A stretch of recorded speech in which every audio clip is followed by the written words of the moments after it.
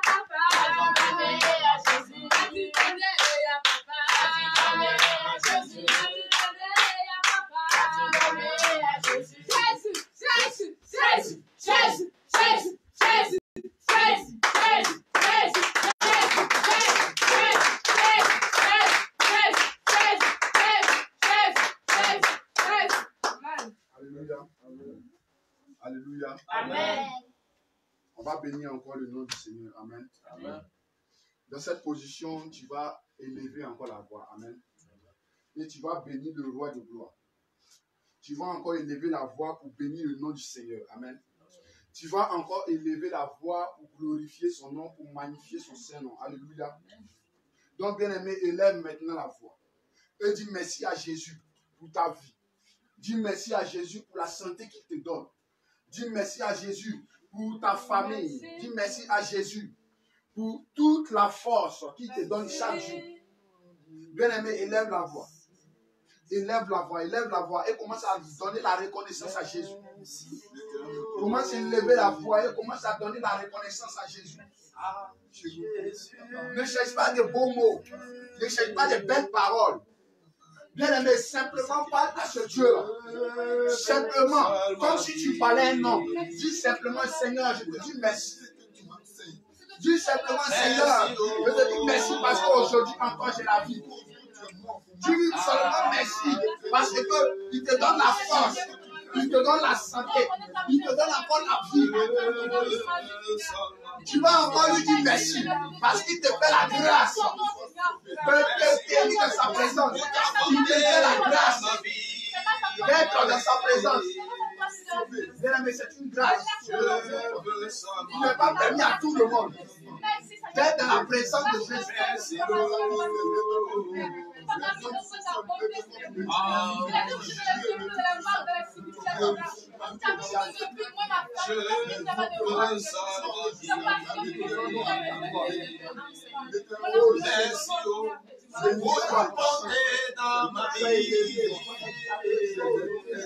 Je me sens moisi. Merci, Bien aimé, dis merci à Jésus. Pendant que tu dormais, est-ce que tu sais ce qui s'est passé? Pendant que tu étais couché inconscient, est-ce que tu sais le combat qui a été mené en ta faveur? Pour que ce matin tu puisses avoir la vie? Bien aimé, l'éternel te dit,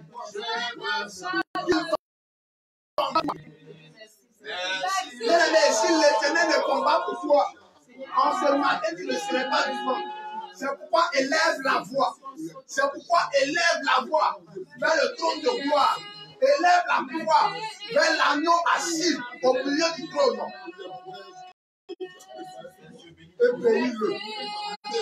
Et célèbre ce Dieu-là.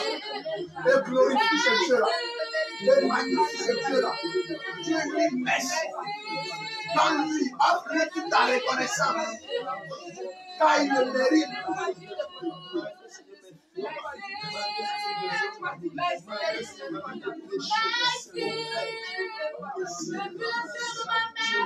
Tu m'as déjà choisi, oh Seigneur, merci. Reçois mes louanges, oh merci.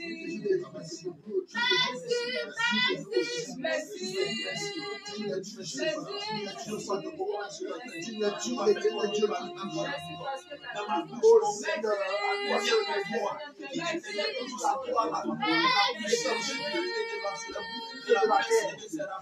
Oh Seigneur, Oh Seigneur,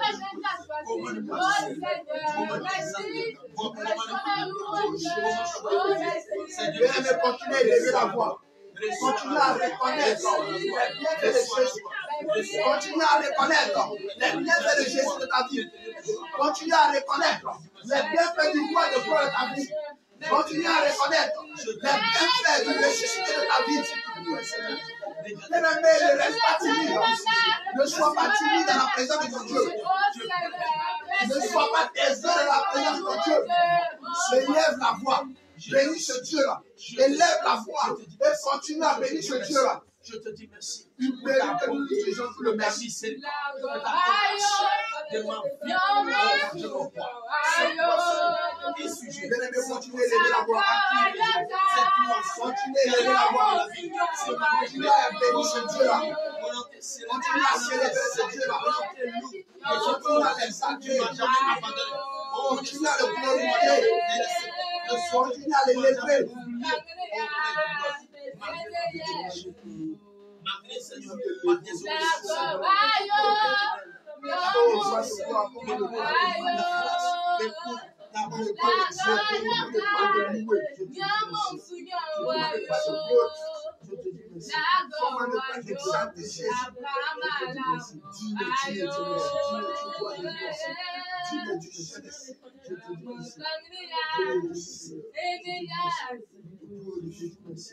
te dis merci. Béni soit tu es gloire. Gloire. Béni sois-tu le Seigneur. Gloire. Béni sois-tu Seigneur. Dieu te. Nous te bénissons. Nous te bénissons, Jésus. Nous te bénissons, roi de gloire. Oh Jésus. Bien-aimé, tu vas te lever, tu vas te tenir debout. Et dans cette présence du Seigneur, Alléluia, dans cette présence du Seigneur, tu vas continuer à lui dire merci. Tu vas continuer à lui dire merci par les cantiques d'adoration. Tu vas continuer à lui dire merci en élevant la voix par les cantiques. Alléluia.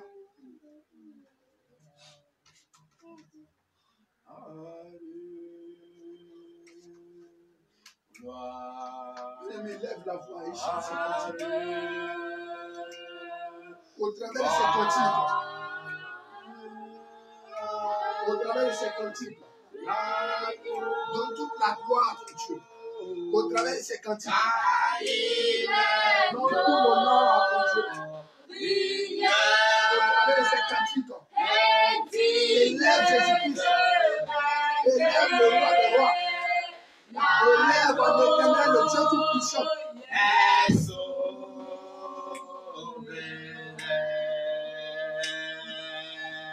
Nous élevons, Nous nos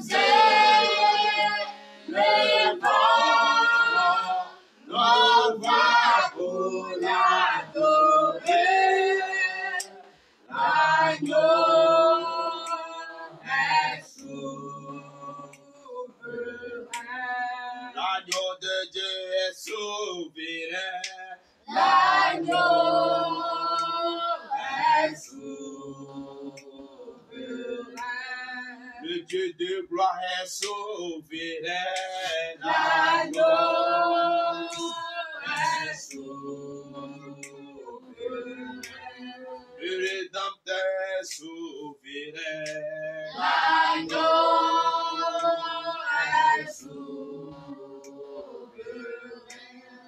le miséricordieux est souverain. L'agneau est souverain. Jésus, Dieu de bonté, est souverain. L'agneau est souverain.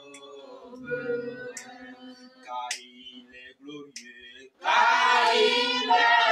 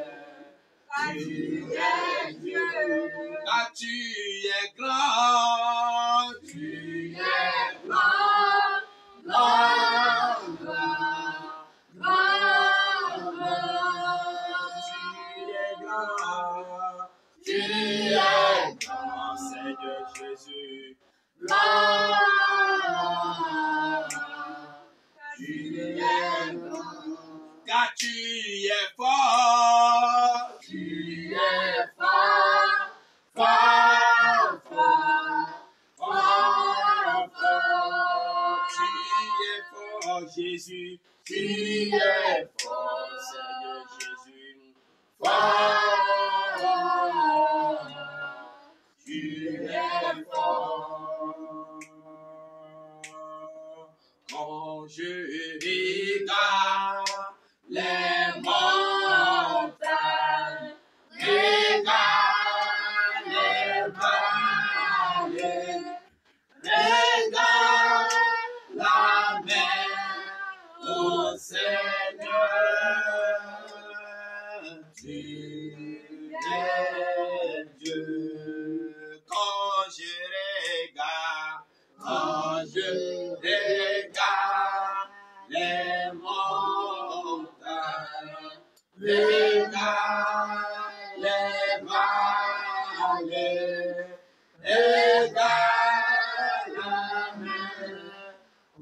Seigneur,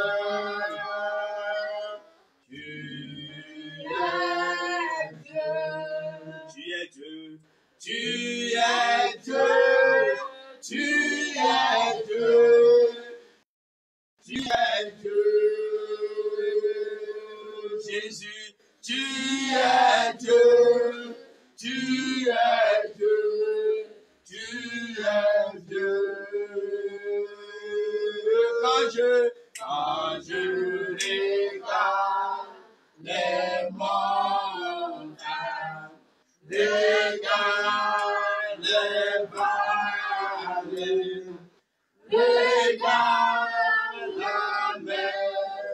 Ô Seigneur,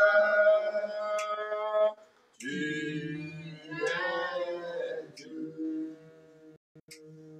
Jésus est le Dieu, il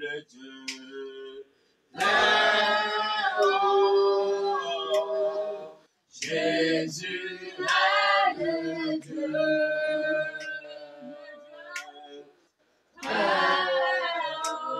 Jésus est, Jésus est le Dieu.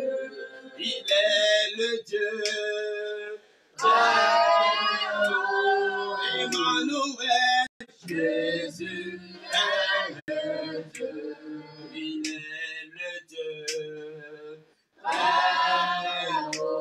Emmanuel, Jésus est le Dieu. Le Tout-Puissant est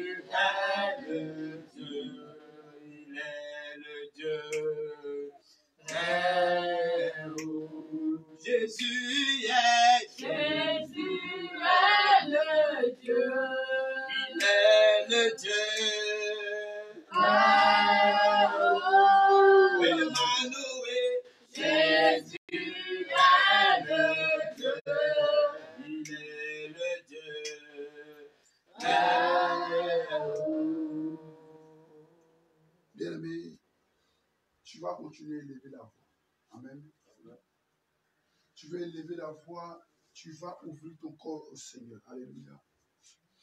Et tu vas demander au Saint-Esprit, au roi de gloire, de te disposer pour ce moment d'enseignement, pour ce moment de la parole. Alléluia. Tu vas lui dire, lui qui est la parole. Amen. De venir disposer ton cœur, de venir semer en ton cœur, lui le semeur. Alléluia. Maintenant, élève voix et demande au Saint-Esprit de venir disposer ton cœur, de venir t'aider à comprendre et à mettre en pratique sa parole. Bien-aimé, commencez à élever la voix. Commencez à élever la voix. Commencez à élever la voix. Demande au Seigneur de venir te nourrir de sa parole. Demande à Jésus, par le Saint-Esprit, de venir te faire manger son corps et te faire boire son sang. De venir te nourrir de la manne qu'il est. De venir te nourrir du vrai pain qui est descendu du ciel. Dispose mon cœur, papa. Dispose mon cœur, papa. Dis au Seigneur de venir te transformer par la parole, de venir te délivrer par, ta- par la parole, de venir te changer, de venir te convertir par sa parole. Que tu viennes libérer mon âme de toute prison, de toute cachot mystique et satanique au nom de Jésus-Christ. Que à travers ta parole ce matin, que ta lumière brise dans ma vie. Et que la gloire te vienne, Père. Au nom de Jésus. Nous avons prié au nom de Jésus. bien-aimé, acclame. de-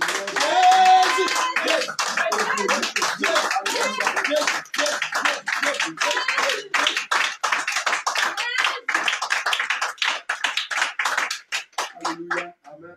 Alléluia. Amen. On va s'asseoir. Amen. On va s'asseoir. Amen. Tu peux t'asseoir, fini. Tu peux t'asseoir, fini. Amen. Le thème d'aujourd'hui, Alléluia, le thème que nous allons voir aujourd'hui, c'est simplement l'intimité avec Dieu. Amen. L'intimité avec Dieu qui est la vie des consécrations. Amen. Alors, vous voyez, pendant, pendant le moment de la prière, chacun a plus ou moins vu ce qui s'est passé. Alléluia. Vous voyez le souci avec euh, nous, les chrétiens, c'est que nous ne savons pas comment prier. Amen. Lorsqu'il s'agit de prier, de s'adresser à Dieu, nous avons toute, euh, toute une multitude de blocages. On ne sait pas comment commencer. On ne sait pas comment terminer. Amen. Souvent, on a des schémas en tête. Je commence par l'adoration. Après, je fais repentance. Après, prière de combat. Et je termine par, par exemple, la louange. Alléluia. Et on règle ces schémas-là. On règle ces schémas, c'est-à-dire qu'on nous a inculqué depuis qu'on était dans les autres églises. Alléluia. Donc, on a des schémas de prière en tête. On commence par ci, on termine par là. On commence par ci, on termine par là. Et donc, nous-mêmes, on se, on se met sur des jours étrangers. Alléluia. Parce que, en faisant ainsi, nous ne pouvons pas profiter de la dispensation du Saint-Esprit. Alléluia. Donc, c'est pourquoi aujourd'hui, nous allons voir, comme j'ai dit, le thème, c'est l'intimité avec l'éternel, l'intimité avec Jésus-Christ. Amen. Qui est donc euh, la consécration ou la vie de consécration. Amen. Nous allons voir ça en trois points, c'est-à-dire, premièrement, la prière. Deuxièmement, la méditation. Troisièmement, le jeûne. Alléluia. Vous voyez, après la, la dite conversion, après avoir accepté de marcher selon la sainte doctrine, ce n'est pas le tout. Ce n'est pas de dire, oui, j'accepte de marcher selon la sainte doctrine, j'accepte d'enlever euh, mes habits sexy ou mes, mes habits marqués, tout et tout. Et puis c'est tout. Attention. Après avoir, après nous avoir, dé- je dirais donc, après avoir enlevé les vêtements mondains, Amen. Les vêtements marqués, sexy, tout et tout. L'autre étape qui vient donc dans ce processus de conversion-là, c'est le dépouillement du cœur et de l'esprit. Amen. Et ces deux points-là se font toujours sur la base de quoi? Sur la base d'une véritable vie de consécration. Amen. Si on n'a pas d'intimité avec Jésus, si on n'a pas de, vie de consécration, si nous ne cherchons pas ce Jésus-là, Amen, par cette intimité que nous devons avoir chacun, alors nous ne pourrons pas traverser donc ce moment de, euh, de, de- brisement du cœur, du brisement euh, de, de l'esprit. Amen. Donc, pour que nous puissions grandir de façon spirituelle, évoluer, il faut donc, il est plus que important donc d'avoir une intimité avec ce Dieu-là. Amen. Après la conversion, voici ce qui se passe. Les gens croient qu'ils ont automatiquement le ciel. du moins après avoir accepté la sainte doctrine, ils croient qu'ils ont automatiquement le ciel. Or, après être venu dans la sainte doctrine, il y a un travail à faire. Amen. Que ce travail-là, non seulement nous devons y participer, mais aussi il faut que nous, par nos actions, Amen, nous puissions donc marcher dans les voies du Seigneur. Lorsque nous prenons le premier point, est la prière, tout simplement, qu'est-ce que la prière? Si je, pose, si je pose cette question à chacun d'entre nous, chacun va me donner une réponse. Et la réponse, cette réponse, du moins, aura tous une même similarité. Amen. D'autres vont me dire prier, c'est échanger avec Dieu. D'autres vont me dire prier, c'est adorer Dieu. Prier, c'est louer Dieu. Tout cela. Oui, tout cela, c'est beau, c'est bien. Mais lorsque nous prenons la parole, qu'est-ce que l'Écriture nous enseigne sur la prière? Amen. Pour ne pas que nous faisions des prières, Amen, qui ne vont pas, qui sont sans exaucement. Le Seigneur nous dira par exemple que ce n'est pas à force de bavardage, ce n'est pas à force de paroles que nous serons exaucés. Amen. Il y a des personnes qui cherchent deux heures de prière. Il y a certains qui, cherchent sept heures de prière. Il y a certains qui cherchent cinq heures de prière. Mais pendant que tu as cinq heures de prière, ou du moins pendant que tu dis prier pendant cinq heures, est-ce que ce que tu dis là, du moins, est-ce que les fruits de tes cinq heures de prière là sont conformes aux fruits de l'esprit? Amen. Parce que le Seigneur a dit, vous les reconnaîtrez par les fruits. Donc, si une personne dit il prie pendant 5 heures, on va le reconnaître par les fruits. Est-ce que 5 heures de prière, ou du moins après tes 5 heures de prière, lorsque ton frère vient et il te marche sur le pied, comment est-ce que tu réagis? L'homme qui fait 5 heures de prière. Amen. Donc, si tu fais 5 heures de prière, 10 heures de prière, 7 heures de prière, Amen. Et que lorsque ton frère, pendant que tu manges, il dit, je vais manger aussi, tu dis jamais de la vie. Arrière de moi, Satan. Ouais. Bien aimé, c'est que tes scènes de prière là, le Seigneur dira donc que tu as bavardé. Tu as bavardé. Tu as bavardé. Amen. On voit un autre exemple encore que le Seigneur nous donne.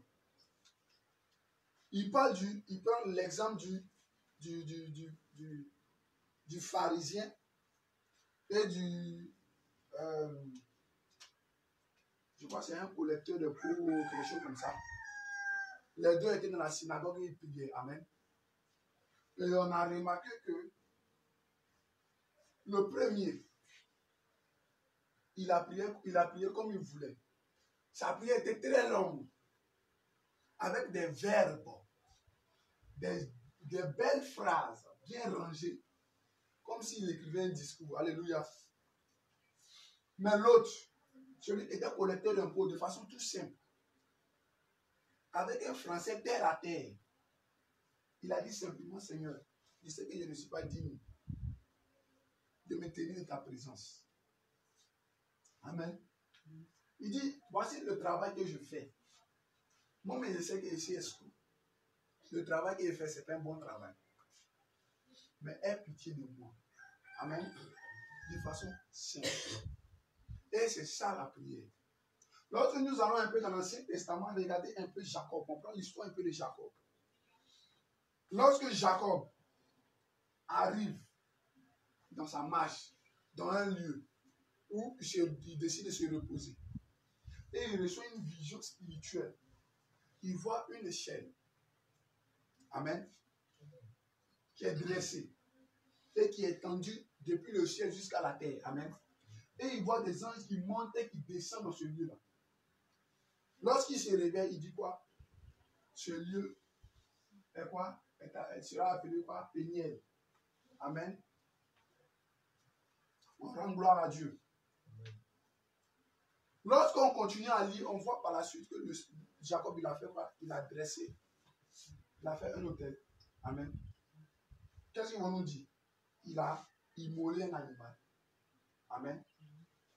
Voici la partie qui me plaît. Il a invoqué l'éternel. Point. Il a fini de prier, il est parti. Dis-moi, il avait combien d'heures de prier Jacob avait combien de prier Avant Jacob, tu as fait ça? Abraham a fait la même chose. Avant, euh, pardon, après Abraham, Isaac a fait la même chose. Amen. Et voici autour de Jacob. Il a fait combien de prière Il a dit seulement une phrase. Il a appelé l'éternel, il a invoqué l'éternel. Amen. Et c'est tout. Donc, pour dire que, selon la parole, la prière, c'est donc quoi Échanger avec Dieu. C'est parler à Dieu, tout simplement. C'est pourquoi lorsque les, apôtres ont demandé à Jésus, mais Seigneur, apprends-nous à prier. Amen. Le Seigneur leur a répondu quoi? Regarde, cette manière, cette réponse qu'il a donnée, ce n'est pas pour réciter rien qu'il a donné, mais il est en train de leur montrer quelque chose. Il est en train de leur montrer que pour prier en fait, ou pour élever la voix vers Dieu, c'est simple. Il suffit seulement de faire quoi? De parler à Dieu. On n'est pas en train de faire un discours, ni, euh, comment on dit ça, je ne sais pas moi, ni euh, une lettre de motivation. Amen. Vous mettre des, des, des phrases même inspirées de je ne sais pas où. Tout français que tu connais, tu as venu déverser ça devant Jésus, comme si tu ne connais pas. Amen. Et de façon simple. Amen. Lorsque nous prenons les psaumes, nous voyons un peu avec les psaumes. On va prendre un exemple tout simple. Psaume 55. On va lire Psaume 55 à partir du verset 2. Le Seigneur nous. David nous dit Ô Dieu, prête l'oreille à ma prière et ne te pas à mes supplications. Écoute-moi et réponds-moi. J'ai ça et là. Dans mon chagrin et je m'égare. Amen. On va s'arrêter là. C'est vrai que c'est un peu en français soutenu hein, par rapport à ma version de Louis II. Mais lorsqu'on prend un peu les Bibles rouges là, on va voir encore, c'est encore plus explicite. Amen. Et nous nous rendons compte qu'en réalité, c'était ça, au fait, le secret de tous nos patriarches dans la parole de Dieu, dans l'Ancien Testament. Amen. C'est-à-dire, lorsqu'ils voulaient s'adresser à Dieu, ils ne cherchaient pas. En fait, ils ne faisaient pas de protocole. C'était simple. Ils disaient ce qui, ce qui était sur leur cœur. Amen. Ils disaient simplement, ils racontaient à Dieu leurs difficultés. C'est pourquoi lorsque nous prenons les psaumes particulièrement, à chaque fois que David est dans une situation, qu'est-ce qu'il fait? Il va raconter la situation à Dieu. Amen. Lorsqu'ils ont, pou- ont poursuivi David pour le tuer, regarde la prière qu'il a fait de façon simple. Caché dans la grotte avec ses, soldats, il a fait une prière simple au, Seigneur. Seigneur, mes ennemis m'assaillent. Ils me poursuivent. Regarde comment c'est simple. Il n'a pas fait Seigneur, Jésus, oh éternel, voici la situation. Non, c'est pas poésie. Il a parlé de façon simple à Dieu, parce que Dieu, il est simple. Amen. Mais il est tellement simple que nous-mêmes, pas fini, on ne comprend pas sa simplicité. Amen. Dieu, il est simple et il veut que nous soyons simples. Il n'est pas dans le protocole. Tu veux prier Dieu, tu te mets quoi? À genoux, tranquillement, dans un lieu où on va te voir. Amen. Et tu commences à parler à ton Dieu. Tu vis une situation, tu ne comprends pas. Seigneur, voici la situation que je vis. Je ne comprends pas. Cette situation me fatigue. Voici tel nombre d'années, voici tel nombre de jours que je suis dans cette situation. Aide-moi, je te prie. Seigneur, viens à mon secours. Voici ce que l'ennemi fait contre moi. Et c'est tout. Amen. sans protocole. On prend un peu un autre exemple. Somme 52. Somme 52, voici ce que David va nous dire. Amen. À partir du verset 3. Bon, ici c'est 3. hein, c'est verset 3. Pourquoi te glorifies-tu de ta méchanceté, tyran? La bonté de Dieu subsiste toujours. Ta langue n'invite que la malice. Comme un rasoir affiné, fou que tu es. Fou que tu es, pardon. Tu aimes le mal plutôt que le bien, le mensonge plutôt que la droiture. Tu aimes toutes les paroles de destruction, langue trompeuse. Amen. On prend juste cet exemple-là. Amen. Lorsque on lit tout le psaume 52, nous allons comprendre que simplement, David parle du méchant. Amen. Et lorsqu'il parle d'un méchant, psaume 52, lorsqu'il parle du méchant, qu'est-ce qu'il fait? Il décrit au Seigneur. Quoique le Seigneur voit ce qui se passe, mais il décrit au Seigneur la personne qui se qui contre lui. Ce que la personne fait. C'est-à-dire par la parole de cette personne. Par les paroles mensongères de cette personne. Amen. La personne donc essaie de le salir, de le détruire. Donc de façon simple, il explique à Jésus, à, à Dieu, ce qu'une personne fait contre lui. Amen. Et donc, en somme, c'est ça la prière. Ça n'a rien de compliqué, ça n'a rien de difficile. C'est de parler à son Dieu. J'aime bien ce- cet exemple-là des personnes qui me disent, qui j'ai déjà entendu, qui disent qu'ils s'asseyent, ils mettent deux chaises. Ils s'asseyent dans une chaise et ils dressent l'autre chaise devant eux. Et comme un enfant, agissant avec sa foi, bien sûr, il va commencer à faire quoi? Il va commencer à parler. Il va commencer à parler à son Dieu. En croyant que son Dieu est assis face de lui. Amen. Mais c'est ce qu'il faut faire. C'est tellement simple. Amen. Tellement simple. Mais c'est ça la prière. Alléluia. C'est de parler à son Dieu. Lui raconter sa situation. Lui raconter ce que nous vivons. Lui raconter nos difficultés. C'est pas qu'il ne le voit pas. Mais il veut que nous prions comme cela. Amen. Amen. Parce que lorsque tu parles, lorsque tu échanges avec ce Dieu-là, Amen, et que tu lui parles de façon simple, de façon claire, de façon sincère, Amen, comme ta parole le dit, il sonne les cœurs et les reins. C'est lorsque il verra cette sincérité-là qui émane de ton cœur, qui va donc t'exaucer. C'est pourquoi il dit quoi? Ce n'est pas à force de paroles. Mais en réalité, c'est sur la base de quoi? De notre sincérité. Amen. À lui, Dieu, qu'il va nous exaucer. Donc, tout simplement, on dira donc que la prière, c'est de simplement parler à Dieu. Donc, dès à présent, ne soyons plus dans la présence de Dieu muet. Amen. Mais parlons simplement à Dieu. En fait, c'est ça aussi qui bloque euh, la- la- l'adoration un peu dans les assemblées. Parce qu'on va dire d'adorer, il ne sait plus quoi dire. Il va commencer à chercher les paroles qu'il a entendues une fois quelqu'un dire.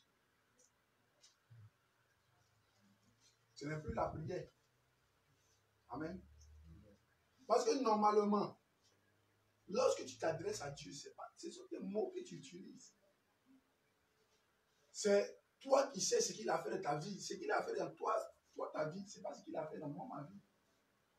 Donc, pourquoi chercher les mêmes paroles que ton frère?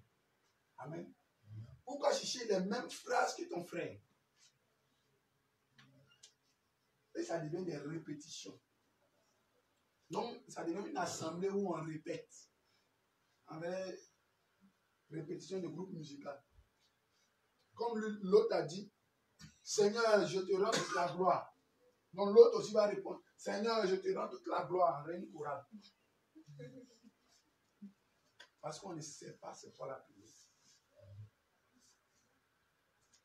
Mais lorsque tu sais que c'est de parler à son Dieu, même si l'autre a dit, Seigneur, je te bénis. Toi, parce que tu parles à ton Dieu, tu ne vas même pas attendre même ce qu'il dit. Parce que tu seras occupé à lui parler. Seigneur, vraiment, il te dit merci. Parce que hier, lorsque je partais à l'école, un exemple, j'ai failli, par exemple, me, me- me- me- me faire renverser par un véhicule. Je prends un exemple. Et par ta grâce, la- le véhicule m'a raté. Ou même le véhicule a été stoppé. Amen. Et je sais que c'est parce que tu as envoyé l'un de tes anges me protéger, me garder. Comme ta parole le dit, tu campes autour de ceux qui te craignent. Amen. Est-ce que ça là, je n'ai pas prié? Est-ce que ça là, c'est mystérieux? Ça n'a rien de mystérieux. C'est ce que j'ai vécu.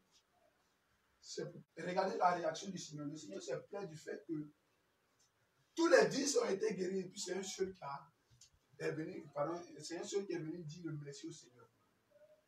Mais le merci qu'il est venu dire au Seigneur, c'était simplement non? Mais le Seigneur a aimé. Et à cause de ce simple mot merci, le Seigneur s'est plaint que les neuf autres ont été méchants. Ok? À cause d'un simple merci. Je me fatigue? Seigneur, merci. Parce que ce matin-là, c'était pas et tu m'as donné la vie. Hier, hier soir, avant de me coucher, était un peu connecté. Et il y a une soeur, une du monde qui a mis en statut. Oh, qui, qui va prendre soin de tes enfants, machin, machin. Et puis elle a mis photo de la soeur. Boucle d'oreille. Comment on dit ça Perruque. Dis-moi, tissage, c'est ce qu'on on, on file là, tissage.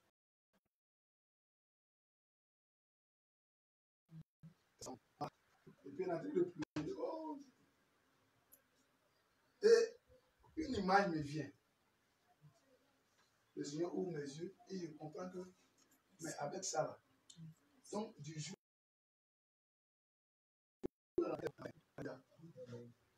Et l'image me frappe.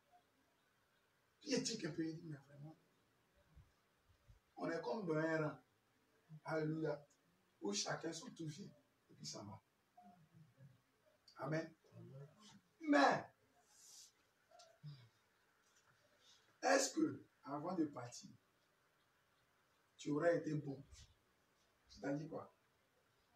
Tu aurais, tu, tu aurais dit le merci que mérite Jésus-là. Amen. Le Seigneur nous dit, par exemple, dans, dans, le, dans le psaume, que c'est le psaume 44. Psaume 44. euh, Excusez-moi que je cherche.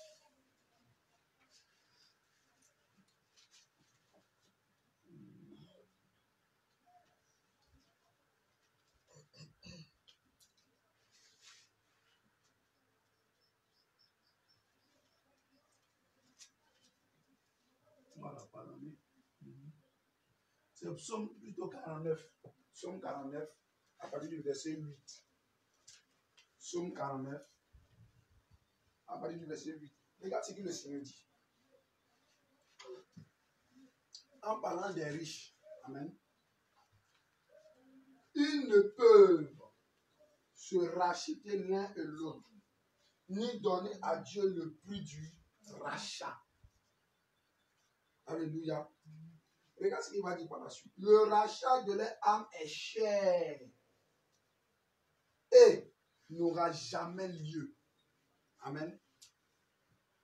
Amen. Amen. Il dit quoi? Le rachat de leur âme est cher. Donc, on dit que il n'y a pas de prix pour ton âme. Alléluia. Il n'y a pas une somme qu'on peut donner à Dieu pour le payer de nous avoir rachetés. Amen. Le prix du rachat de notre âme a été quoi? Le sang de Dieu. Alléluia. Et ce prix est, tellement élevé que quelle que soit la richesse d'une personne, il ne pourra jamais donner ne serait-ce que la moitié de ça. Amen. Mais la seule chose que le Seigneur demande, Amen, comme un salaire, je dirais, c'est quoi? Tout simplement faire la reconnaissance. Amen. Il dit quoi dans sa parole? À Dieu se le revient la quoi? La gloire. La quoi? La louange, l'honneur, la magnificence. Lorsqu'on dit à quelqu'un revient, on parle de revenu. Mais le revenu, c'est quoi? C'est pas un salaire. Le revenu, c'est un salaire. Donc, si le revenu, c'est un salaire, c'est-à-dire, c'est pas la louange, c'est pas l'adoration, c'est pas la prière tout simplement qu'on paye Dieu. Alléluia. Voici pourquoi, pour Jésus, c'est très, très important la reconnaissance. Donc, la prière. Ce que le Seigneur veut de par-dessus tout, c'est pas prière de combat. Il y en a, ils vont faire 7 heures de combat. Il finit là. Dès qu'il sort. Ça ira bien, ça Oh, tu as tout gâté. Il va commencer à te laver de la tête jusqu'au pied? Il va te rincer. Va te réhabiller. Il va te retraîner dans tes rouges. Il va te relaver encore par ses paroles. On comprend mon langage. Ça ne pas dire des mots bizarres. Amen. Tellement qu'il va t'insulter. Tellement qu'il dit, ah! Ouais, c'est incroyable. Tu me fais rappeler quand il était coincé au carrefour Bréville, là, le dimanche, le dimanche de la foi, là. Il a failli frapper tout le monde. Hein. Il a failli frapper tout le monde. Il était coulé comme ça. Commencer à menacer chauffeur et tout. Pour qu'on dise, on va pas à et va finir la une. Parce que le bâtard est venu. Et aux yeux de tout le monde maintenant, honte.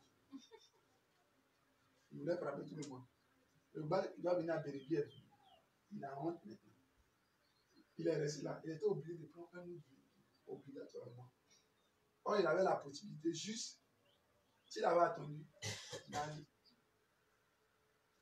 Or, c'est un chrétien. Mais il a dit, ça, c'est quel exemple? Amen. Alléluia. Amen. Et c'est ça. Quel exemple. Mais c'est lorsque donc, nous avons toujours cette intimité avec le Seigneur que le Seigneur va donc nous transformer.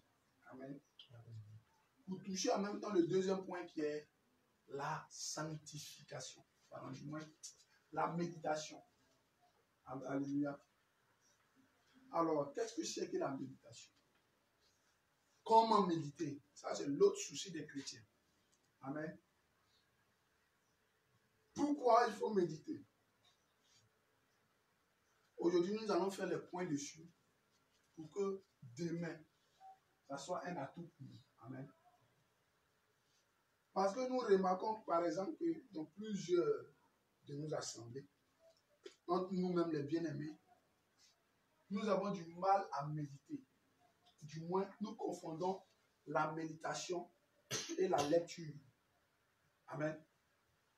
Lire et méditer, c'est deux choses qui sont différentes. Je lis la parole et je médite la parole, ce n'est pas la même chose. Amen. Lorsque je prends la parole et que je le lis, Amen. Comme on lit, par exemple, ces cours pouvoir retenir quelque chose. Même si je retiens quelque chose, c'est une lecture. Amen. C'est une lecture, ce n'est pas une méditation. La méditation, c'est quoi? La méditation, c'est de comprendre la vérité ou la révélation cachée derrière un verset. Amen. Ainsi donc, lorsque nous prenons Jésus chapitre 1, verset 8, le Seigneur va nous dire quoi?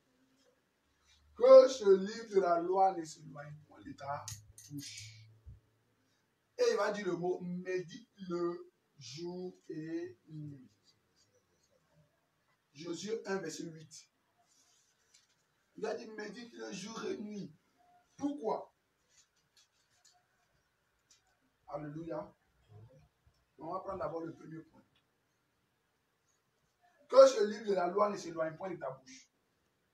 Autrement dit, pour que on puisse dire qu'on médite, un, il faut se familiariser à la parole. Amen.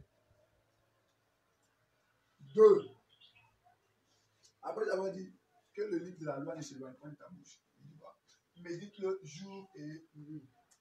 C'est-à-dire, si j'ai un peu de temps, je médite. Si entre midi et deux, j'ai un peu de temps, je médite. Par exemple, je suis élève. À la récréation, j'ai 30 minutes. Je vais prendre 5 minutes de méditation, ce n'est pas mauvais. C'est-à-dire méditer un seul verset. Après encore, je ne sais pas moi, par exemple, à 14 heures, je finis de manger, je peux méditer un peu. Je tourne, tourne, j'ai un peu temps, le prof par exemple n'est pas venu. Je prends un peu, un verset encore, je médite. Voici ce que le Seigneur dit méditer jour et nuit. C'est-à-dire méditer à tout moment. Amen. Méditer dans les bonnes situations, comme méditer dans les situations difficiles. C'est-à-dire, ce n'est pas pour un jour, ce n'est pas pour deux jours. C'est à tout moment et dans toutes les circonstances. Amen. C'est dans toutes les circonstances qu'on médite. Mais pourquoi on médite dans toutes les circonstances? Il nous dira par la suite, dans le même verset, que c'est pour agir fidèlement hmm, à ce qui est écrit. Mais qu'est-ce qui est écrit dans la parole? Amen. Pour que nous puissions marcher fidèlement. Amen et puis que nous puissions bénéficier des bénédictions rattachées à cette parole. Donc, premier point, qu'est-ce que la méditation? La méditation, c'est de simplement, premier, premier, premier point, on prend la parole de Dieu. Alléluia. Lorsqu'on prend la parole de Dieu, ce n'est pas au pif. C'est-à-dire quoi? C'est-à-dire, il y en a, ils disent, vont méditer aujourd'hui. Ils font la parole comme ça.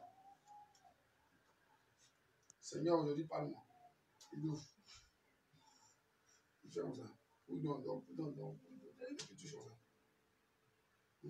Lorsque l'éternel fut monté, dit au ciel d'un tourbillon. dit portait un quoi? Ah, comme s'il portait quelque chose. Avec Élisée. Donc là, là, il voit Élie qui a laissé son manteau à Élisée, double onction. Le Seigneur vient de le parler comme ça. Tu as recevoir la double onction. Comment ça c'est double onction, double onction.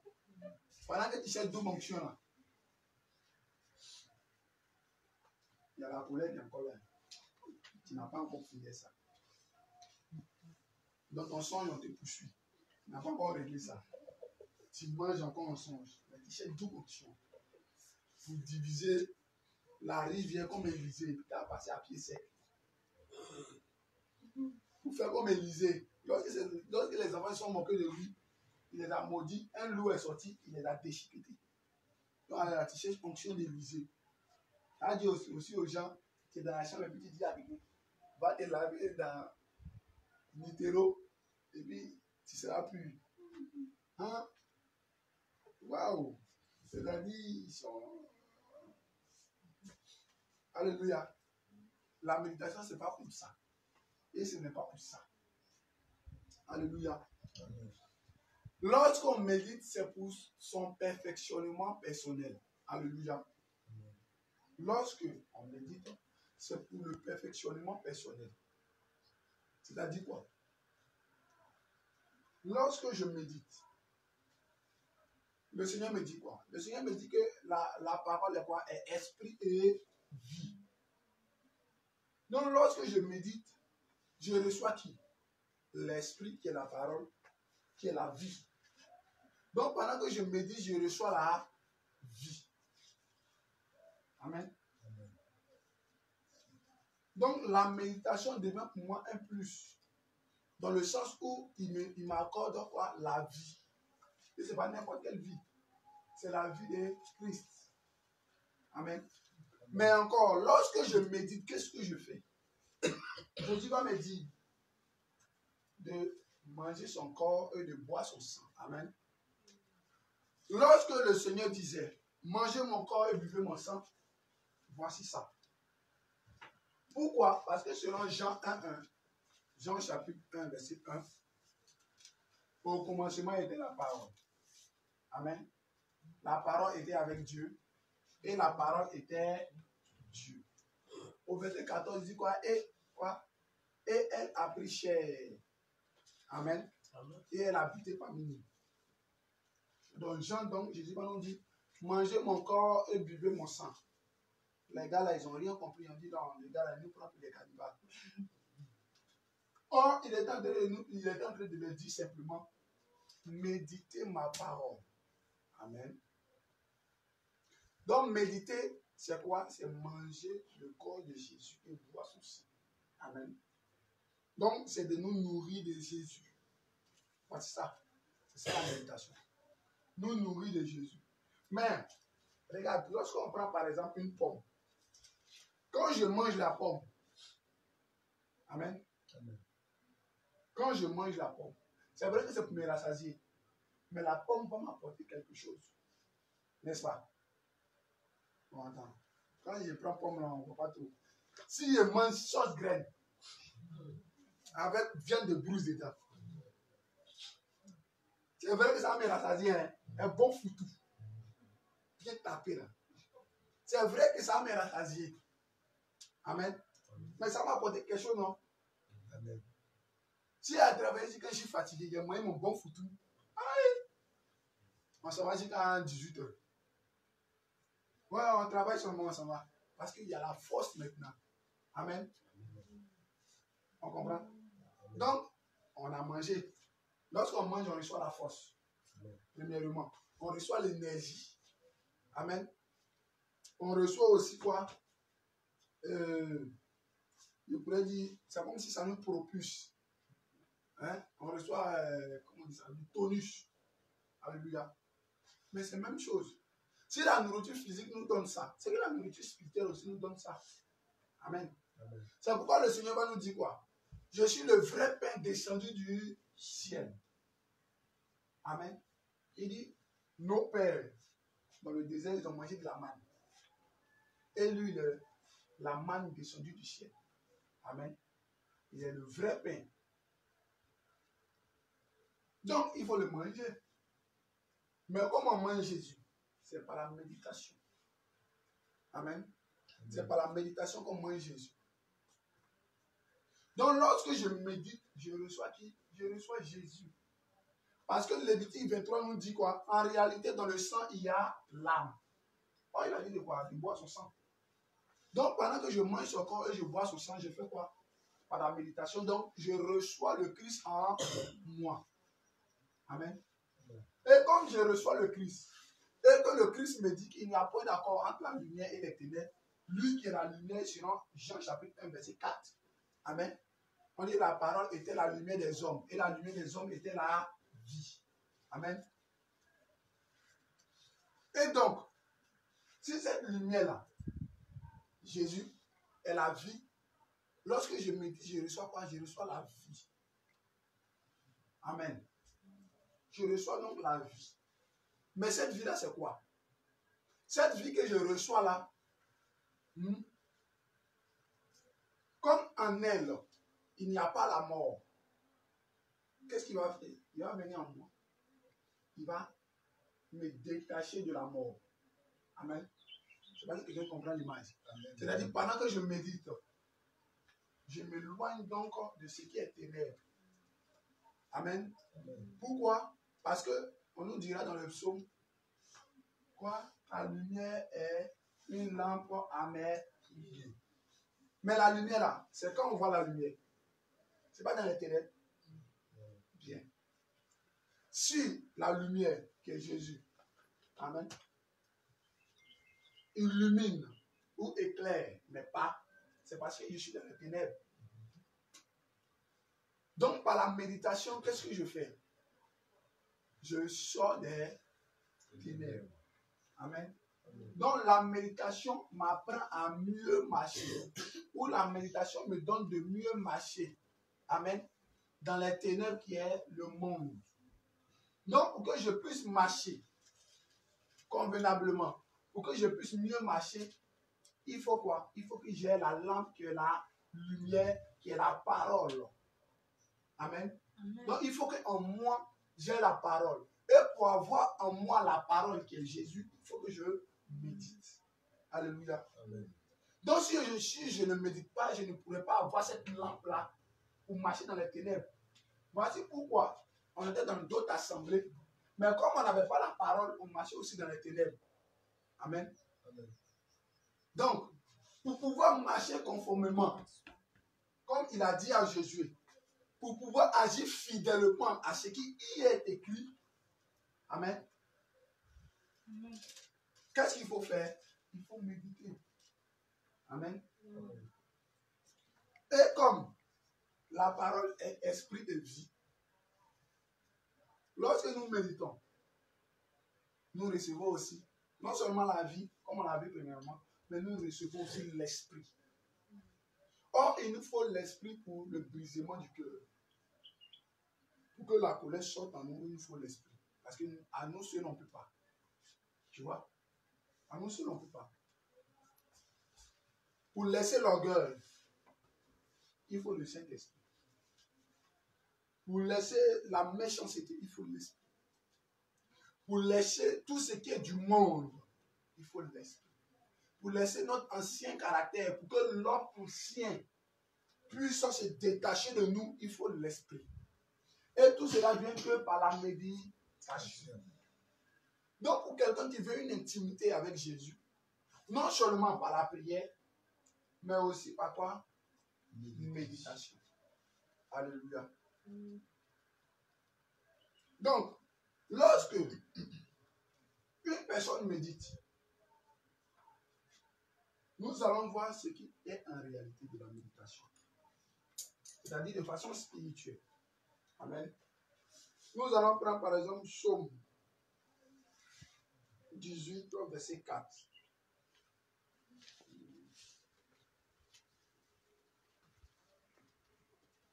Amen.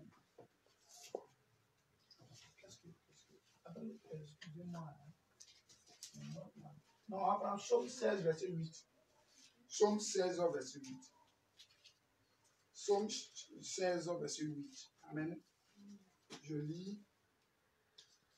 Voici ce que Paul, euh, pardon, voici ce que David va nous dire. J'ai constamment l'éternel sous mes yeux. Amen. Quand il est à ma droite, je ne chancelle pas. Premier point. J'ai constamment l'éternel sous mes yeux. Mais attendons. L'éternel. On se rappelle que dans Exode, l'Éternel a dit à Moïse que on ne peut me voir et vivre. Lorsque nous allons dans Juge, le chapitre 6, Amen, avant la naissance de Samson, Amen, nous avons vu que le père et la mère de Samson ont vu par l'ange de l'Éternel qui est Jésus lui-même, venu les parler, venu les donner instruction de l'enfant qui allait naître. Amen. Mais quelque chose m'a frappé. Le père de Samson a commencé à paniquer lorsqu'il a vu que l'ange, en réalité, c'était l'éternel lui-même. Il a dit, wow, nous allons mourir parce que nous avons vu l'éternel. Parce qu'on ne peut pas l'éternel vivre. Amen. Et comme c'est comme cela, lorsque David nous dit que j'ai constamment l'éternel sous mes yeux, qu'est-ce qu'il nous dit? Ou du moins, qu'est-ce qu'il essaie de nous faire comprendre? Amen. Rappelons-nous que Jean, le chapitre 1, verset 1, dit au commencement. Il dit avant toute chose, il y avait quoi? La parole. Et la parole était avec Dieu. Et la parole était Dieu. Amen. Donc, comment voir l'éternel? Et puis dit de façon constante, c'est-à-dire à tout moment. Alors, c'est ça la parole. C'est ça l'éternel. Vu que l'éternel est sa parole. Amen. Donc pendant que je médite, qu'est-ce que je fais? J'ai le yeux sur l'éternel. Si je prends mon temps, chaque jour dans la méditation, c'est que tous les jours je vois l'éternel. Amen. Et si chaque jour je vois l'éternel, qu'est-ce que je fais? Je suis en train de créer un, euh, lien de... Voilà, une euh, intimité avec Dieu. Amen. Je suis en train de créer une intimité avec ce Dieu-là, avec Jésus. Amen.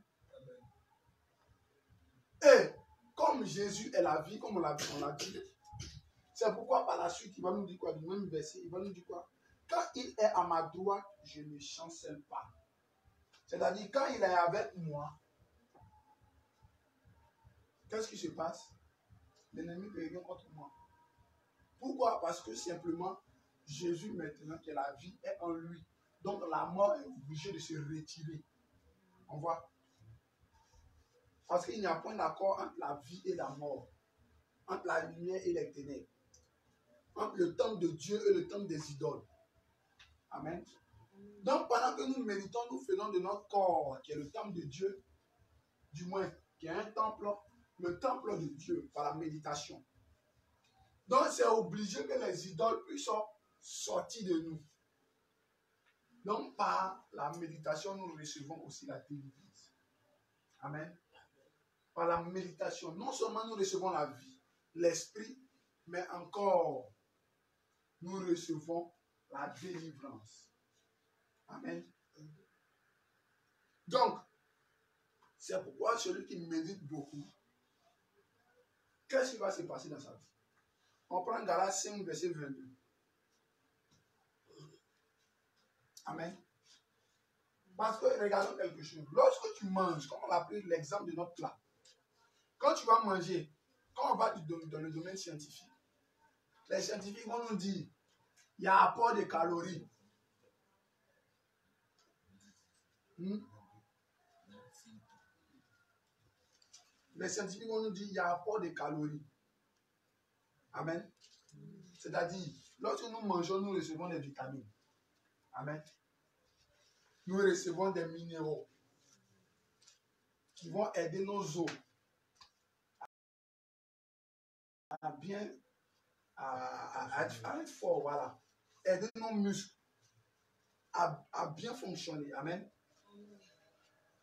Mais dans le spirituel, dans le spirituel de façon simple, Lorsque nous méditons, lorsque nous allons dans Galates 5, verset 22, nous recevons quoi? Le fruit de l'esprit. Amen. Donc, par la méditation, donc, nous recevons le fruit de l'esprit. Le fruit de l'esprit, c'est quoi? C'est le caractère de l'agneau. C'est l'ADN de Jésus. Amen. Et donc, c'est l'ADN de Jésus. Lorsque nous le mangeons, Amen, le vitamine que nous recevons de, de cet aliment-là, c'est l'ADN de Jésus. C'est le caractère de Jésus. Amen. C'est ce vitamine que nous recevons là, c'est l'amour, c'est la joie, c'est la paix, c'est la patience, c'est la bénignité, c'est la douceur, c'est euh, la fidélité, la, tout ça. Amen. Donc, c'est tout ce que nous recevons lorsque nous méditons. Amen.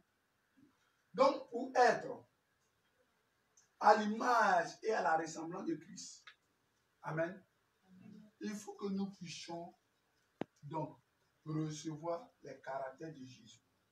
Amen. N'est-ce pas que de façon biologique, humaine, pour savoir si vraiment un enfant a pour père un tel, ils font des quoi? Des tests de- d'ADN. C'est pareil. Être chrétien, c'est quoi? Être chrétien, par définition, c'est être à l'image et à la ressemblance de Dieu.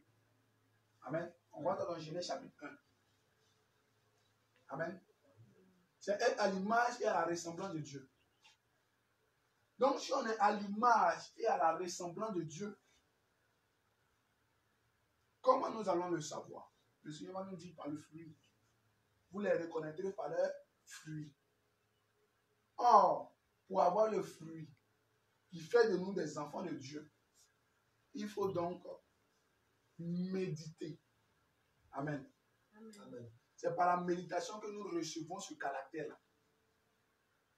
C'est par la méditation que nous restaurons donc notre identité qui a été perdue autrefois. Amen.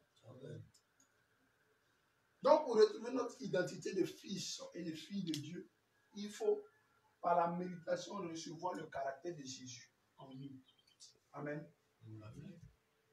Encore, toujours par la méditation, qu'est-ce que le Seigneur nous permet? Par la méditation, par cette intimité qui va se créer entre nous et Jésus, nous allons donc grandir de façon spirituelle. Amen. Et dans cette croissance spirituelle, nous pourrons donc un jour espérer au royaume des cieux. Pourquoi je dis ça? Parce que la parole étant l'esprit, lorsque nous allons méditer, lorsque nous allons nous familiariser à la méditation, lorsque nous allons demeurer dans la parole, sans même que quelqu'un vienne nous imposer les mains, nous allons recevoir quoi? Ce précieux baptême du Saint-Esprit. Lorsque nous voyons un peu dans l'acte des apôtres, il y, avait une différence. Ceux qui avaient le baptême du Saint-Esprit, on leur disait qu'ils étaient versés dans l'écriture. Amen. Donc, c'est lorsque nous méditons continuellement que nous avons quoi? Que nous pouvons même avoir le baptême du Saint-Esprit. Mais encore, lorsque nous rentrons encore dans la parole, nous prenons par exemple euh, par exemple dans Genèse, dans Apocalypse, lorsque le Seigneur nous parle de- du noce de l'agneau, qu'est-ce que donc il veut nous dire au, euh, en parlant de, la noce de l'agneau Amen. Il a dit que quoi? Pendant la noce de l'agneau, qui est une fête donc, le Christ même, Amen, sera vêtu d'un fin lin. Alléluia. Lorsque nous allons encore plus en arrière dans l'Ancien Testament, avec Josué, Amen, on voit que autrefois, Josué était revêtu d'un vêtement sale. Amen. D'un vêtement souillé. Mais qu'est-ce que l'Éternel a fait? Il a, il a enlevé ce vêtement de souillure-là. Pourquoi Pour le faire revêtir, écoutons bien la parole, d'un vêtement de fête. Mais pourquoi il avait revêtu d'un vêtement de fête? En réalité, Jésus représente chaque chrétien. Amen. Et cet habit de fête qui lui a été fait porter, c'est le fruit de l'esprit. Verset 2. Ça veut dire quoi? Non seulement il nous faut l'esprit de Dieu le baptême du Saint-Esprit. Amen. Mais encore, il nous faut Galates 5, verset 22, le fruit de l'Esprit. Deux choses pour pouvoir participer aux noces de l'année. Jésus m'a donné l'exemple avec la parabole des convives. Il a invité tout le monde, ils sont venus, ils étaient bien habillés. Mais il y avait un, il est rentré. Il était à la fête, mais il était mal habillé. Qu'est-ce qu'il a fait? Ils l'ont chassé, non? Ils l'ont mis dans les ténèbres du dehors. Mais pourquoi? Tout simplement parce que il lui manquait quelque chose. Le caractère du Saint-Esprit. Donc lorsqu'on reçoit le Saint-Esprit, ce qui nous reste maintenant à faire, c'est de recevoir le caractère du Saint-Esprit. Amen. Vu qu'il n'y a pas d'accord entre la lumière et les ténèbres. Donc, le caractère des ténèbres qui était en nous doit partir. Et nous devons recevoir le caractère de Jésus. Amen. Et ça se fait par la méditation, par la parole. C'est pas le détachement, il y a la transformation, il y a le changement. Alléluia.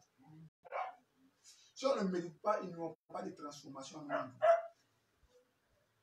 C'est pourquoi le Seigneur a dit quoi à Jésus? Pour agir fidèlement, Alléluia. Pour agir fidèlement, hmm, pour agir fidèlement à la parole, il faut donc la méditer.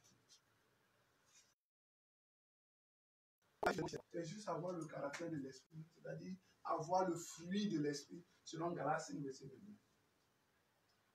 On voit un peu. Donc, la méditation, voici ce que ça nous donne. Et voici pourquoi elle est très importante. Maintenant, rapport méditation-prière. Celui qui médite beaucoup, forcément, lorsqu'il va commencer à prier, il ne sera pas en cours de, à coup de parole. Amen. C'est-à-dire quoi? Il ne va pas dire que non, je ne sais pas quoi dire. Ou je ne sais plus quoi dire. Parce que lorsque tu vas méditer, pendant que tu seras en train de méditer, le Seigneur va t'inspirer les prières. C'est-à-dire, souvent tu médites, tu tombes sur un verset là, tu es en train de méditer, puis tu te rends compte que, aïe, il ne savait pas ça. Et puis un coup, il y a une prière qui te vient en cœur. Et tu commences à prier. On voit. Donc la méditation va avec la prière. Amen. Donc celui qui médite beaucoup, prie beaucoup. Et à chaque fois que tu médites, le Seigneur va t'attirer, il va attirer ton attention sur quelque chose. Il va t'amener à prier. N'est-ce pas que le Seigneur dit prier en tout, en tout temps Tu as très prier en tout temps. Donc, tant que la parole de Dieu ne s'éloigne point de ta bouche, tant que tu pries. Amen. Amen. C'est pourquoi, lorsque nous voyons un peu dans les psaumes, le Seigneur nous dira donc que méditer, c'est quoi? C'est lever les mains vers la parole. Amen. Donc, si je lève les mains vers la parole, je suis en de. Et c'est effectif. Ça veut dire quoi? Pendant que je médite. Alléluia. Donc, en plus de cela, nous allons donc toucher le troisième point. Le troisième point qui est quoi? Le jeûne. Amen. Hormis la prière, hormis la méditation, il faut une vie de jeûne. Amen. Alors, c'est quoi le jeûne? Le jeûne sert à rendre plus puissante, plus fort nos prières. Amen. On voit un peu avec l'histoire de Daniel. Daniel a prié. Lorsque Gabriel est venu, il a dit quoi? Il a dit tu avais été exaucé depuis le premier jour. Mais le souci, c'était quoi? Il y a eu confrontation dans le ciel entre les anges de Dieu et les anges de Lucifer. Dans le deuxième ciel. Alléluia. Mais qu'est-ce qu'il a dû faire pour qu'il puisse recevoir son instrument? Il a dû donc jeûner. Amen. Donc, c'est par le jeûne là que les anges y combattaient pour que sa prière puisse être exaucée. Amen. ont eu encore plus de force. Donc, pour appuyer nos demandes, nos supplications, Amen, pour appuyer euh, l'intervention que nous avons demandée du Seigneur, il faut donc l'accompagner du jeûne. Donc, le jeûne ici est un genre de booster. Amen. C'est un amplificateur de la prière. Un peu comme les postes radio là, à micro là. Il a dit, ma voix est simple comme ça. Lorsque je parle, pour que plus de monde m'attende, j'utilise donc un haut-parleur. Amen. Pour que plusieurs personnes puissent m'entendre. C'est la même chose avec le jeûne. Donc, pour que ma prière puisse impacter, puisse être plus fort, je dois l'accompagner de jeûne. Amen. Pour recevoir une bonne vie de prière, une bonne vie de méditation, il faut que j'appuie avec le jeûne. Amen. Donc, c'est le jeûne, la prière et la méditation. Amen. Alors, l'autre point que j'ai sauté, excusez-moi, c'est comment méditer. La méditation, c'est quoi? La méditation, c'est tout simplement le fait de, premièrement, prier. Amen. C'est-à-dire quoi? Je veux méditer. Je m'assois ou je me prosterne et je prie. Amen. J'implore la, la présence du Seigneur. C'est-à-dire, je prie jusqu'à ce que je sente la présence du Saint-Esprit. En gros, j'invite donc le Saint-Esprit à venir m'assister, à venir m'enseigner. Amen. Sur la base de la parole qui dit que la parole est esprit et vie. Et comme la parole est esprit, Amen. Et que Dieu est sa parole, pour que je puisse comprendre la parole de Dieu, il faut qu'il me l'enseigne. Donc, sur la base de cette parole, je demande au Saint-Esprit de venir. Donc, j'appelle le Saint-Esprit jusqu'à jusqu'à ressentir sa présence. Amen. Donc, quand je dis ressentir sa présence, c'est jusqu'à ce qu'il soit là. Hein. Maintenant, quand je sais que le Saint-Esprit est là, maintenant, qu'est-ce que je fais? Je prends quoi? Le Nouveau Testament. Je n'ai pas dit l'ancien. Je vais vous expliquer pourquoi. Je prends le Nouveau Testament à partir de Matthieu. Je dis bien à partir de Matthieu, parce que le Nouveau Testament commence Matthieu. Amen. Donc, à partir de Matthieu. À partir de Matthieu. Ok? Je commence à méditer. Pourquoi je commence à méditer à partir du Nouveau Testament? Tout simplement parce que pour comprendre la base de cette doctrine, il faut le Nouveau Testament. Tu comprends? C'est-à-dire quoi? L'Ancien Testament et le Nouveau Testament. Amen. C'est tout ce qui fait la parole de Dieu. Et le Seigneur, quoi? Il ne change pas. C'est sa parole, c'est ce qu'il a dit. Non, on ne rejette pas l'un, on ne prend pas l'autre. C'est-à-dire, on prend les deux. Mais pour pouvoir mieux comprendre la parole, il faut que je commence obligatoirement par le Nouveau Testament. Lorsque je commence par le Nouveau Testament, qu'est-ce qui se passe? Premièrement, j'apprends à connaître ce Dieu-là, qui est Jésus. Deuxièmement, j'apprends à marcher comme un véritable chrétien. Parce que lorsque nous méditons, nous voyons comment je suis à marcher en tant que chrétien. Amen. Deuxièmement, le Seigneur reprend beaucoup l'Ancien Testament. Amen. Par exemple, les dix commandements. Qui est un enseignement très fort dans la sainte doctrine. Amen. Et pour comprendre, comme quelqu'un qui m'a envoyé un message pour me demander c'est quoi la base de la sainte doctrine? Il rit d'abord avant de répondre. Amen. Parce que marcher bien, il faut d'abord méditer le Nouveau Testament. encore, pourquoi le Nouveau Testament? Parce que le Seigneur dit quoi? L'accomplissement de l'Ancien Testament, c'est le Nouveau Testament. Quand il parle d'accomplissement, il veut pas dire quoi? En réalité, pour pouvoir comprendre l'Ancien Testament, il faut d'abord comprendre le Nouveau Testament. Pourquoi? Parce que le Nouveau Testament est la torche. Amen. Est la lumière qui permet d'éclairer ou de mettre à la lumière les mystères, les révélations, les enseignements cachés du Nouveau, pardon, de l'Ancien Testament. Amen. Donc, si nous voulons comprendre un jour l'Ancien Testament, il faille que d'abord nous comprenions le Nouveau Testament. Amen. Sinon, sans ça, pour quelqu'un qui commence, comme il dit les nouveaux chrétiens, il va commencer par jeunesse, la personne fait une erreur.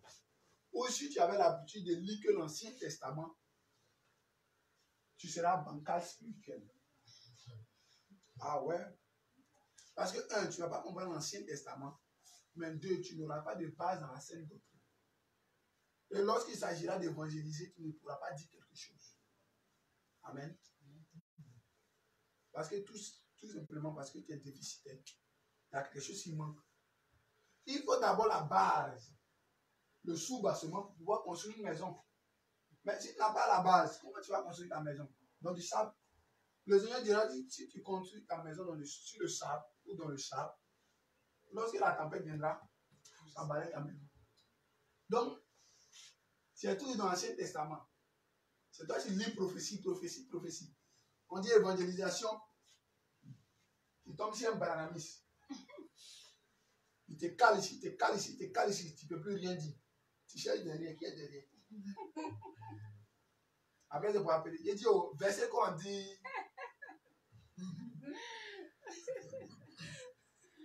Pourquoi? Parce que simplement, tu médites mal.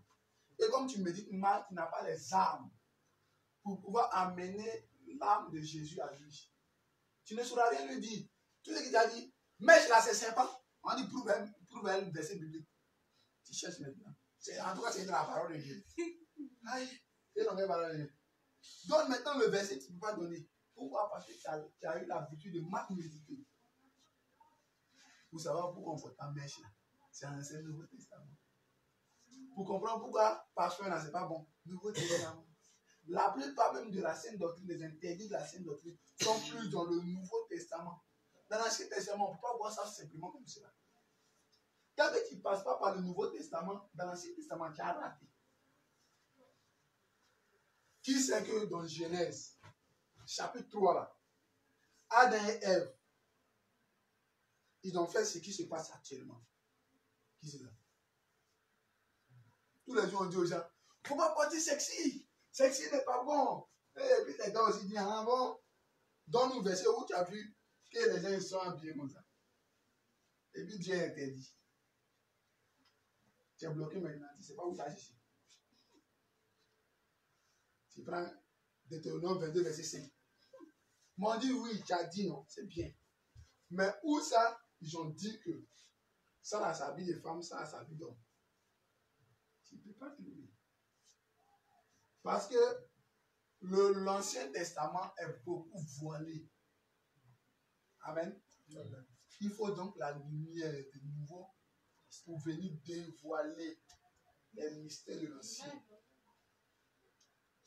Amen. Hmm. Lorsque nous prenons par exemple Genèse chapitre 3, Adam et Ève là, les deux qui sont habillés, ils ont porté mini les deux. Qui c'est ça? Ah. Ah. Ça sort, c'est étonnant. Laisse-moi prendre la parole de Seigneur nous dit quoi? Que Adam et Ève fit quoi? Avec des feuilles de figuier une ceinture à leur hanche. C'est ça, non? Ils ont pris feuille de figuier qui est bien large. Ils ont pris un autre fil. Ils ont mis ça comme ça. Et puis ils ont fait un tube comme ça. Hein? Et puis ils ont attaché ça sur les reins comme ça. Ça va pas mini? Dans les deux, porté mini. Qui c'est ça? Qui c'est? Ah. Donc, on vient maintenant dans, dans, dans même Genèse chapitre 3 là, on descend un peu, on vient au verset 21. Dieu va venir dire, tiens, si vous avez dit qu'on s'habille comme ça. Donc, il va faire quoi? Le Seigneur maintenant va nous dire qu'il fit à Adam et à Ève des habits de C'est maintenant Dieu va montrer habillement d'homme et habillement de femmes. Au début, là, les deux sont habillés même chose. La même chose. Mais comment tu vas savoir ça? Tu n'as pas le, Nouveau Testament pour que ça t'éclaire, tu vas voir. On lit, on lit, on lit, on passe. Au commencement était la parole. C'est dans Genèse, non? Genèse chapitre 1. Mais or, c'est dans Jean chapitre 1, verset 1. À 14, quand on comprend, au commencement était la parole, ça veut dire quoi? Combien?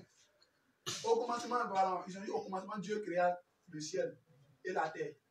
Mais au commencement, là, pour comprendre, il faut venir dans Il faut lire d'abord Jean chapitre 1, verset 1, jusqu'à verset 14, pour comprendre. Hein? Donc, au commencement, c'est ce que Dieu a dit. Ah ouais. Donc, quand il dit au commencement, il est en train de parler de quoi? Il est en train de lui-même. C'est lui qui est le commencement de toutes choses. Donc, si on veut comprendre l'Ancien Testament, c'est obligé. On est obligé de passer par livre. C'est obligatoire. Combien Donc, il y a tellement de mystères, tellement de connaissances. Quand on dit mystère, les gens voient ça maintenant, c'est pour les docteurs. Attendez, c'est mon, mon français. Il y a tellement d'enseignements, tellement de révélations. Dieu veut qu'on le connaisse. C'est pourquoi il y a le Nouveau Testament. C'est le Nouveau Testament qui va nous apprendre, qui va nous aider à rentrer dans la parole. Qui va nous aider à comprendre le, bon fond de, l'Ancien Testament. Amen. Mais si on ne médite pas, nous serons bancals. Amen. À tous les niveaux. Tant dans notre vie spirituelle que nous-mêmes dans notre vie sociale avec les autres. Nous serons, nous serons toujours la même chose. Comme si nous n'avons pas connu la sainte doctrine. Amen. Amen. Donc, c'est vrai qu'on va passer par la délivrance, hein. mais après la délivrance, ça, c'est l'effort personnel qui est là. Prière, méditation, jeûne. Ça revient à nous. Pendant que tu as fait ça là. C'est vrai que tu as été délivré. L'esprit de couleur est parti. L'esprit de convoitise est parti. L'esprit de je ne sais pas quoi est parti, mais le caractère qui est là. Oui, on voit ça. On délivre, la colère ça va. Deux jours plus tard, ça va. Hein? Une semaine, quelqu'un te parle mal. Ça te choque comme ça, quand tu vibres sur toi. Tes yeux deviennent rouges, tes narines s'ouvrent, tes oreilles se dressent. Ta bouche même fumée commence à sortir tellement que tu peux parler mal. Mais si tu n'as pas versé de méditation, comment tu vas savoir que Dieu dit Il faut rester muet. Comment tu vas savoir ça Tu médites pas aussi haut. Non, mais s'il n'était pas de Jésus revient.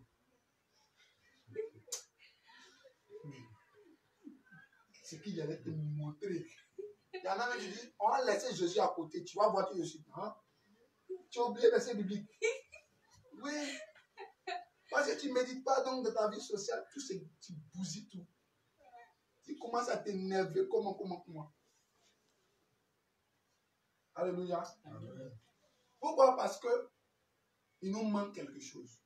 Donc, pour pouvoir mieux marcher, Amen, à tous les niveaux de notre vie, pour vraiment euh, faire cette promotion de Jésus-là, même par notre manière de vivre, il faut donc ces trois points. Vie de prière, vie de méditation, vie de jeûne. Alléluia. C'est obligatoire pour un chrétien. Pour quelqu'un qui veut avoir une intimité avec Jésus, il est obligé de, passer, de respecter ces trois-là dans sa vie. Amen. Sinon, sans ça, zéro à la base. Nous ne pourrons rien faire. Nous ne pourrons même pas évangéliser. Amen. Donc, Voici ce qui était le thème d'aujourd'hui, sur l'intimité. La vie de consécration, donc, d'un enfant de Dieu, après sa venue dans la Sainte Doctrine. Il doit, il doit donc connaître cette base. Alléluia. Il doit avoir du moins cette base. C'est obligatoire. Amen. C'est ça la conversion. Parce que par définition de la parole de Dieu, la conversion, c'est quoi? C'est se retirer ou s'éloigner du mal. Amen. Donc ici, c'est la conversion, c'est s'éloigner du mal selon Isaïe 59. Amen. Quoi? Le verset 20 Alors, il faut que nous, nous vraiment, nous nous détachions du mal, du moins par la méditation. Amen. Donc, c'était le point d'aujourd'hui. Alléluia. Nous bénissons le Seigneur. Amen. Alors, bien aimé, tu vas t'élever. Amen. Tu vas t'élever. Et tu vas commencer à dire merci à Jésus. Tu vas commencer à le glorifier. Commencer à le magnifier.